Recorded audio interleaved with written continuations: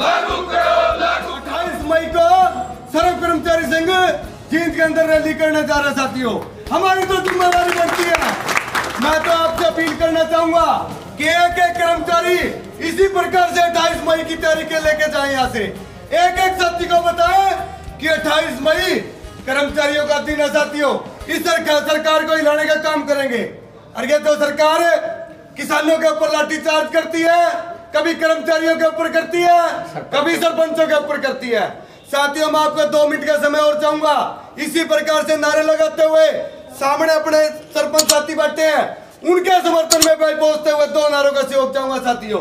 और भी आने वाले में जो भी अपने आंदोलन हो लगातार साथियों अगली पंक्ति में खड़े होके इसी प्रकार से अगली बार संख्या बढ़ाने के लिए ज़रूर सोचेंगे। एक एक विभाग के अंदर जाने का कार्य करेंगे। लेकिन इस सरकार को मुँह तोड़ जवाब देना तो साथियों संगठित होना पड़ेगा।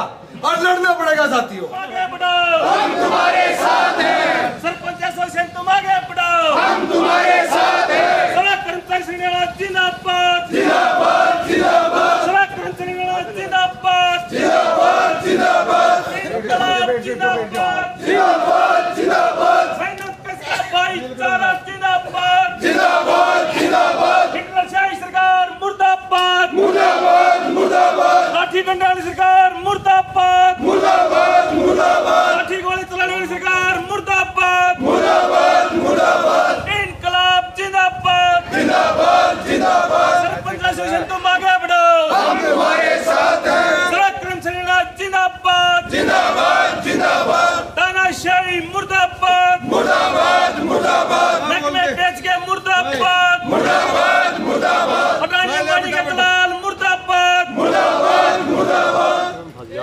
आज सर्व कर्मचारी संघ के राज्य कमेटी के आह्वान पर जिला जींद के अंदर हमने मुख्यमंत्री के नाम उपायुक्त महोदय के माध्यम से मांग पत्र दिया है। आने वाले समय के अंदर सर्व कर्मचारी संघ लगातार आंदोलन करेगा। उसी कड़ी को आगे जोड़ते हुए जींद के अंदर सर्व कर्मचारी संघ अठाई मई को रैली करने जा रहे हैं साथियों। और आने वाले समय के अंदर जिस प्रकार से पंचायत के ऊपर, सरपंचों के ऊपर, किसानों के ऊपर, कर्मचारियों के ऊपर जिस प्रकार से हरियाणा सरकार लाठीचार्ज कर रही है, उसकी हम घोर निंदा करते हैं। आने वाले समय के अंदर हरियाणा सरकार को भुगतना पड़ेगा जिस प्रकार से कर्मचारी और सरपंचों के साथ सरकार कर रही है।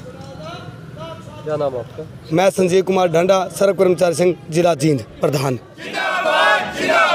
कर्मचारी संघ हरियाणा जिंदाबाद। जिंदाबाद जिंदाबाद। खट्टर पटर मुर्दाबाद। मुर्दाबाद मुर्दाबाद। बीजेपी बीजेपी का गठबंधन मुर्दाबाद। मुर्दाबाद मुर्दाबाद। ठगबंधन मुर्दाबाद। मुर्दाबाद मुर्दाबाद। सरकार